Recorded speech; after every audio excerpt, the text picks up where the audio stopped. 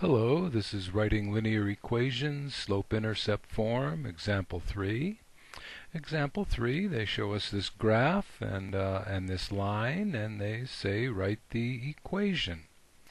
Well, uh, just like we did in the uh, last two examples, uh, writing the equation depends on knowing what b is and what m is. So uh, B is the y-intercept. Here's the y-axis, and the y-intercept is right there. So B is equal to negative 5. And I have to figure out what the slope is of this line. Well, we've calculated slope many times.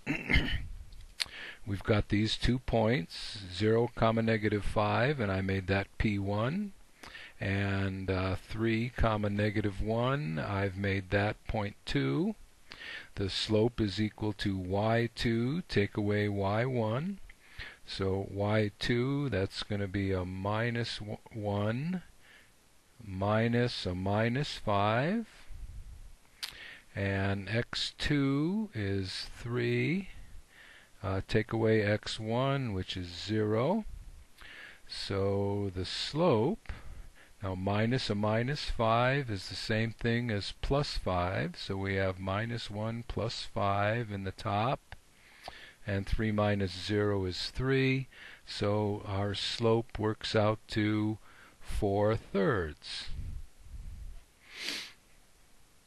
So uh, the slope is 4 thirds.